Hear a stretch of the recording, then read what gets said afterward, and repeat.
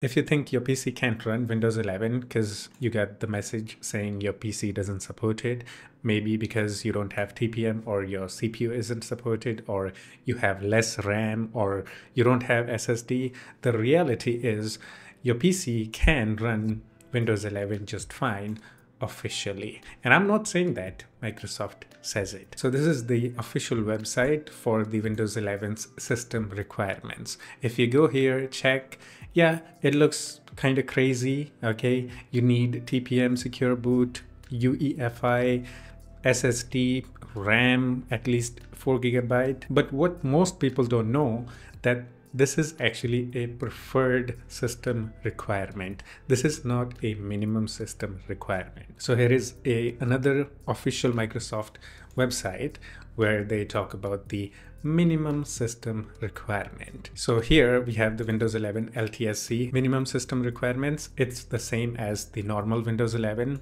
Okay, you need the TPM, UEFI, secure boot and everything, but we have the minimum system requirements here. The TPM is optional, secure boot is optional, UEFI is optional. So what this actually means is that yes, your PC can run Windows 11 even if you don't have all the preferred system requirements.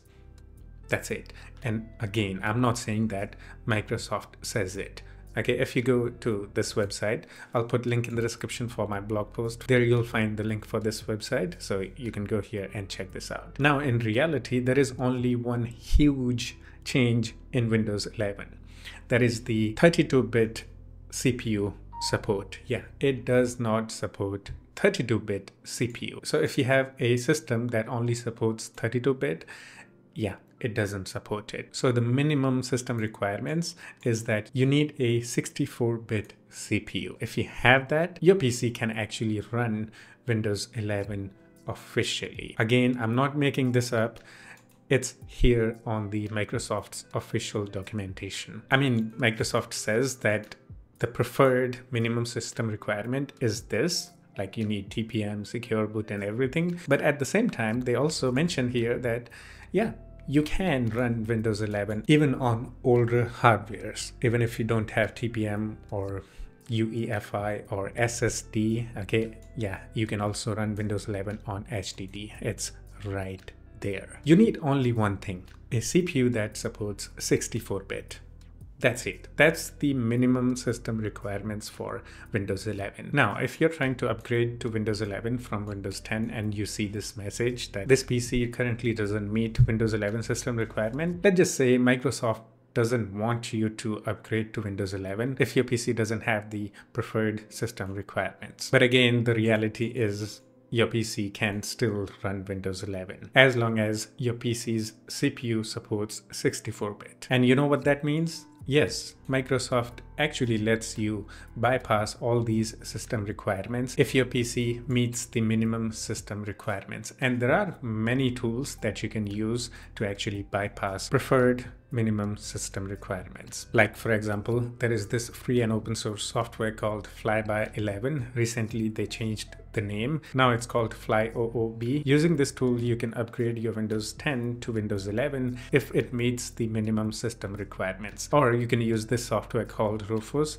really popular tool to create a bootable USB drive. This also has a option to bypass the system requirements. So whichever tool you prefer, just use it. Like for example, if you want to upgrade from Windows 10 to 11, use the Flyoobe. You can go to official GitHub page and then go to releases and download it from here. You'll need a Windows 11's official ISO file. So you can go to the official website from here, just get the ISO file and on the Flyoobe, click on select option and click on select ISO from local file and then select the Windows 11 ISO file. And now it's going to mount the ISO file and then it's going to run the script to bypass the system requirement. Okay, so you can see it ran the PowerShell. Now it's going to launch Windows setup. Okay, just click next and then click accept. Here, if you don't want to lose all your data, the programs, files and everything, select the first option, keep files, settings and apps, and then click on next. And now it's gonna start upgrading your Windows 10 to Windows 11 without any issues because in reality, Windows 11 actually runs on almost any PC as long as your CPU supports 64-bit. Again, it's from the Microsoft. I'm not making this up. To make Windows 11 experience better and more secure, Microsoft wants you to have the preferred system requirements. That's the reason by default, Microsoft doesn't allow you to upgrade to Windows 11 if it doesn't meet the preferred system requirements. Now, one important thing I want to mention here is that when you're upgrading from Windows 10 to 11, even if it's officially supported, like you have the preferred minimum system requirements or don't have, it doesn't actually matter. For better Windows 11 experience, I recommend you guys to do a clean installation if possible, okay? Backup your data and then do a clean install. It's not like you're gonna break your PC but you know the Windows updates and upgrades. Sometimes they can cause some issues when you do a major upgrade of Windows. So it's my recommendation. If you can, please do a clean installation. Now, after the upgrade, you might be wondering, will I get all the updates and upgrades?